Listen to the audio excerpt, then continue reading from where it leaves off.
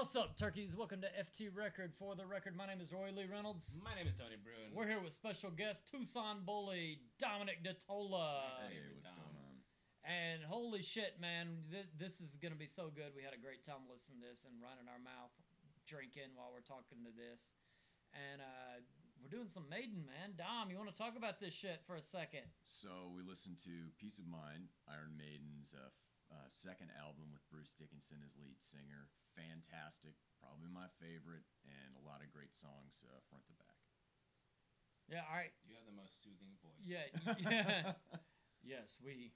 We have heard the Dom DeTola radio voice. all right, all right, Dom, you, you're the big fan of this album, man. Uh, give me, give me your highlights of this shit, man. What did you like? Um, all of the tracks on the album.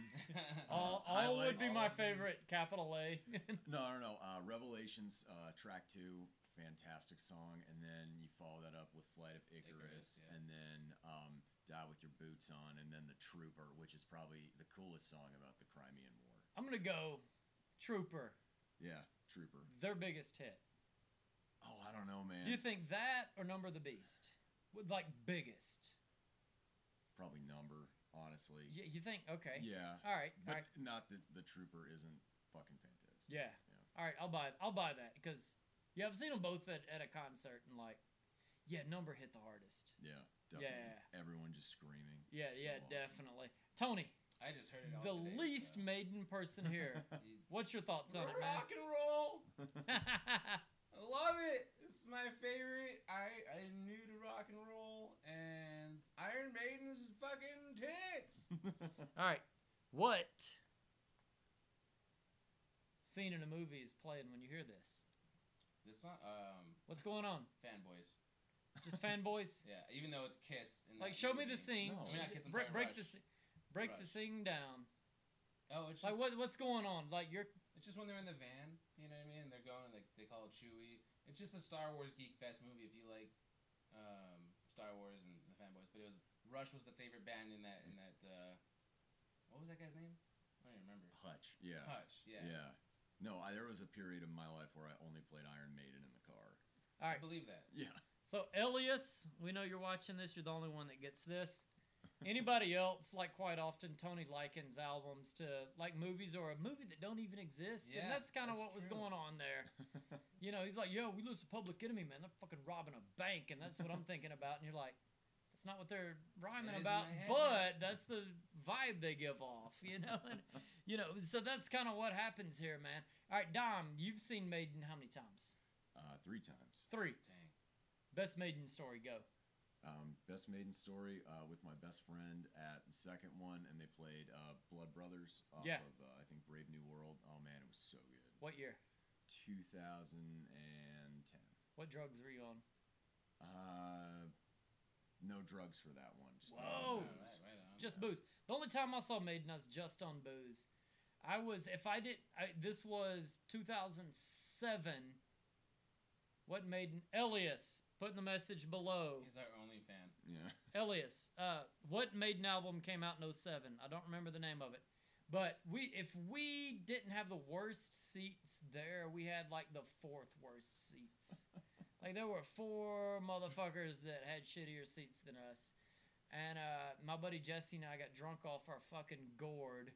And there was like dad, who is my my age now. So dad was like fucking forty, and then son who was ten, and he was like the yeah this is real rock and roll thing. Me and Jesse's drunk asses are one row behind him, and we're like double fisting concert beers that are like fourteen pounds, twenty eight dollars. Yeah. Goddamn, yeah. You know, we got two of them in our hands. We're we've been day drinking. We're- We're drinking them and spilling them all over the kid. Oh. Dad wants to whoop our ass. We're drunk assholes. We understand why he wants to kick our ass, but we still flex anyway because drunk assholes. And they played the whole album. I don't remember the name of the album um, because, again, we don't research. uh, and I don't always remember very well. But they played the whole new album, and then they played a few of the greatest hits. And as soon as they laid into Number of the Beast, my toxic twin Jesse just like disappeared. and then I walk down like a few rows up, and I look and I see the dude in the pit, like they're fucking throwing fists and shit, you know. and I want to make a show, a documentary of you and uh, um, Randy Ford going to concerts together. I want to do a documentary where me and Randy Ford go to a concert together. I, I've never been to a concert with him, but we're both fucking rednecks and like, yeah. Just both of you guys drunken stories would be hilarious. oh yeah, that'd be great. Randy, move back to Tucson, cocksucker. 'Cause he likes metal. We need too, to do a that. fucking podcast. yeah, it. Randy's not gonna see this. gonna see this. He's yeah. not gonna see it. Anyway, Randy Ford's a Tucson, used to be a Tucson comic. He Very funny cat. He lives in like Butt Scratch, Alabama now. Um, I hope he's still doing comedy while we're in COVID. I don't know what the fuck, but anyway, it uh yeah, we we were the uh, to- token. Southerners in Tucson. All right, anybody uh. Give me your best Iron Maiden memory, not necessarily at a concert, but Maiden adjacent. You're at the keg party. You're you're high out of your gourd. You're whatever the fuck. You're getting pussy. I don't know what. You know. If you got Uh, put, do you ever get pussy to Iron Maiden? Because respect. Of course I have. I've never gotten pussy to Iron Oh Maiden. yeah. He's like, am I American or what? Yeah, seriously. Am I British or what? You know. No, uh, I've never gotten pussy to Maiden. Be- best either. maiden related memory is probably uh, one weekend um, at Laffs. I fucking did guest set and just crushed, and I went up to Revelations from uh, this album. Dope. And like just the beginning, like as it's starting up, oh man, so good. Next, next time you and I do the Irish car bomb on stage at Laffs, we're gonna make them play Maiden. We're gonna tell them. We're gonna tell whoever's working, working the thing like keep it going as we do it. oh yeah, Yeah, God, I used to knock those back. we'll, we'll do that next time we do that. All right, Tony. Yes. Final thoughts on this album, man. I want to. Uh, I want to raid a castle. raid a Castle. I do. That's the best comment I've heard this whole. I want to just. Since we started playing it, that's the best comment I've I heard. want to raid a castle. Are you gonna be wearing armor? Yes, All right. absolutely. Armor, sword. I'm gonna have homies with you know behind me with like maces and shit. Yeah, there like, you we're gonna go. fucking take it. Is it gonna be now by homies like cholos with maces and shit, Yeah, right? but with armor. Yeah. So it just sounds like echoey slurs. Are you gonna paint What's your up, fool? Are you gonna paint your face blue, Mel Gibson? Uh, yeah, blue, but with the bandana like logos on it. Oh, very nice. Oh yeah, I'll dig it. All right. We'll My let you- final thoughts are not my typical final thoughts. Don't get excited, Tony.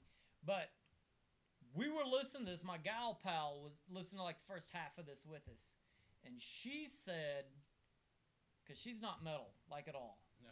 She's she's she's I thought she anti-metal. was, to be honest with you. She's anti-metal. Um, but she was like, he's singing up high, right? And we're like, yeah. She's like, You're but it's "Oh, like yeah." metal. It's like macho, and we're like, yeah, kinda. Yeah. What's your thoughts on like the tough guy singing up high, Tony? I don't give a fuck. You know, all right, Dom. I don't care if you can do it right. It sounds amazing. If, you Sounds if cool. you're moving tickets and it sounds good, like if you look, if you're getting whatever you want, like groupie, you're doing it right. Yeah, You know I mean? yeah, Like, Bruce "I feel Dickinson. so Yeah, all that bullshit. You know what I mean? yeah. good at your job, you get rewarded. Yeah, exactly. All right, yeah, we, we were doing that, and I I always liken this band to Judas Priest, and I'm a bigger Priest fan than I am a Maiden fan.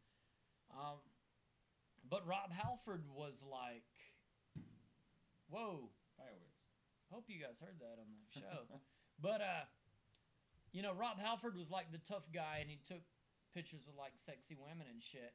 But he wore like the leather with the bus driver hat, and you know, and all this shit. Mustache. And yeah, A he had leather he had the stash, and and then, and then when he came out as gay, everybody in metal, um, because we're more progressive than we get credit for, we're like, all right, cool, you're gay. When's your next record? Yeah. you know, and and that, that was our attitude. And we're like, uh, we we like that you sing like, that yeah. high because everybody else I listen to doesn't Yeah. you know, and that's dope that you do. And kind of you being gay is like the most uninteresting thing about you. Metalheads only care when the music stops. Like, what the fuck? Yeah. Is Yeah, on? right. Yeah, fucking What turn the the record back on, Yeah. fucko.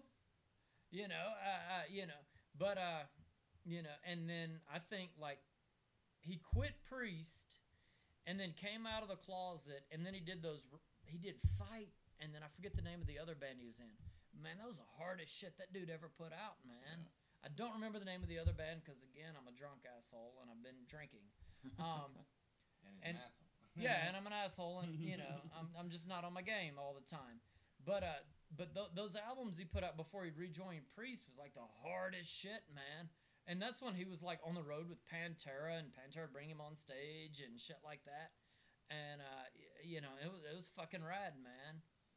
And and that's my attitude with all of it. It's like you know whatever, cool. You know I like the cats that sing up high, and I like the cats that do it down low. And you you want to talk about cats sing up high? Let's let's add Rob Halford to the list. Let's add Steven Tyler to the list. Let's Yep. add Ozzy Osbourne to the Ozzy, list. yeah. You know, let's add Dio, to that list. And you're like, all right, you know, let's go down low. You know, that's that's your Phil Anselmos, that's your Buzz Osbornes, that's you know your Henry Rollins, and and you know that's that's rad too. That that's my attitude with it. It's like I, I want the full gambit when it comes to my shit.